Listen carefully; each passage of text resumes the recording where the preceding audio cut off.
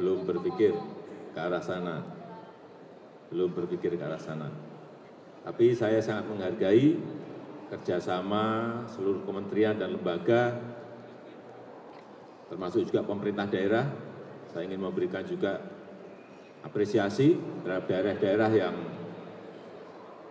mampu mengedukasi masyarakat memberikan penjelasan yang baik seperti dki jakarta jawa tengah jawa timur jawa barat. Saya kira hal hal seperti itu yang bisa menenangkan masyarakat